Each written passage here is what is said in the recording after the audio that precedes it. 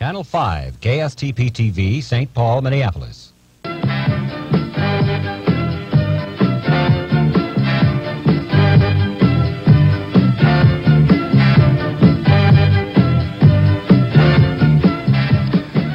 Good morning, everybody. Um, tonight we're presenting a program which I hope many of you have seen before.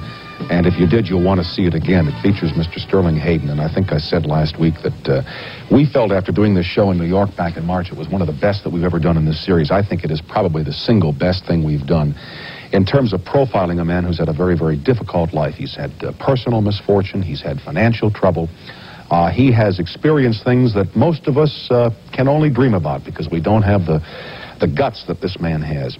Uh, he discovered marijuana or pot very late in life, says it's one of the best things that's ever happened to him, that it enables him to see things he never saw before.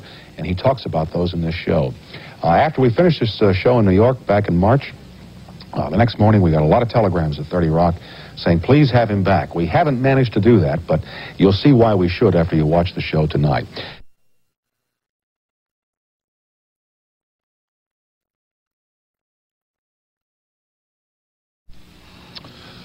Now here is Mr. Sterling Hayden, who has been known to scoff at some of his work in pictures, but his list of performances could rank on just about anybody's list of good ones.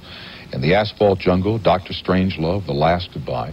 At the age of 60, he's now published his very first novel, even though he wrote an autobiography about 10, 12 years ago. The novel's called Voyage. It's a story about the sea, a story about America on the threshold of the 20th century. Mr. Hayden is a man of the sea himself. He used to be a, uh, a, uh, a maritime man. Uh, in addition to being an actor, a writer, an adventurer, and a great proponent of uh, cannabis, of marijuana, which I want to talk about later when we get to where this man's going to come on and to explain the normal laws, or the, the laws with his organization. Say, now listen.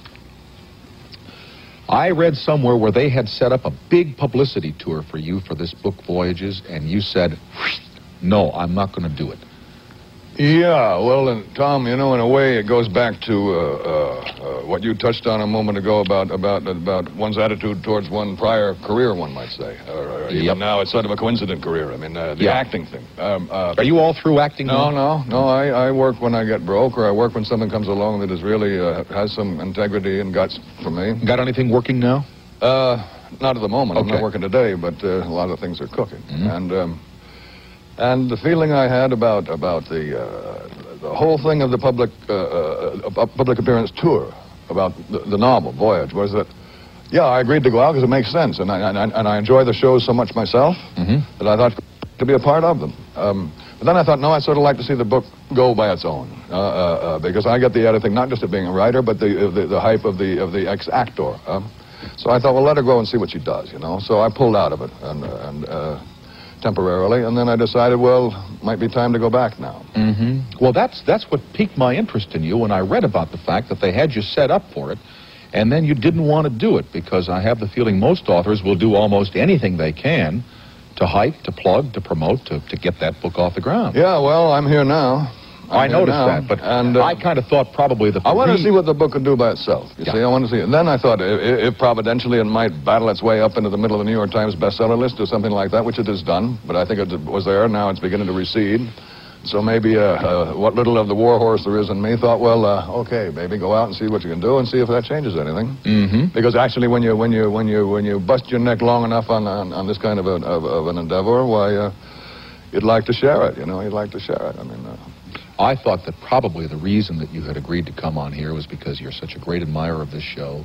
you know why I'm here? no, I don't. All right, I'm here because it's a. Uh, this is this is no uh, this is no nonsense. Um, I've done uh, a couple of other shows in the last uh, last week, but I'll tell you the absolute truth. Uh, when the subject of going out came up 1st Mhm. I said, well, I would like to get on a show where it's possible not just to uh, uh, skim the surface of, of, of, of a lot of subjects, but do what, of course, you're noted for, what your show is noted for, which is, uh, uh, is talk, talk, Mhm. talk, Talk. Yeah, get into something. and uh, unless you get down into it, why, in a way, uh, you figure what the what's the use? You know? yeah, if you go on for six minutes. And this, of course, is your forte, isn't it? Uh, yeah. Let's say a lot of people think so. Yeah. All right, Yeah. d'accord. Uh, and don't tell them if you, if you find out that it's not. you, you know the old line, hey, I hear you're making 60000